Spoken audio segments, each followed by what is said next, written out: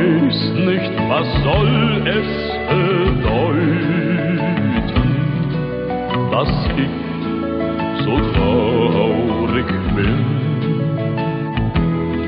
Ein Märchen aus uralten Zeiten, das kommt mir nicht aus dem Sinn. Die Luft ist so kühl und es dunkelt und ruhig fließet der Rhein.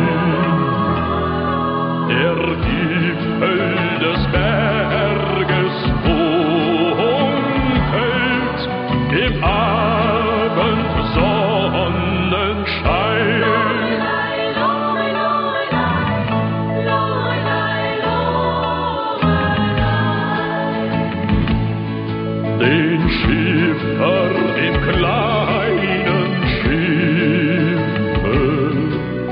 ergreift es mit wildem Weh.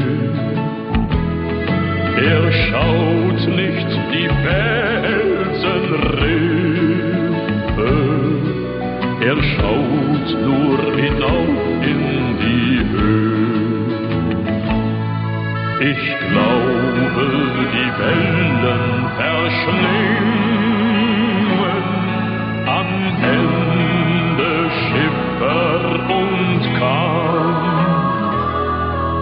und das hat mit ihm.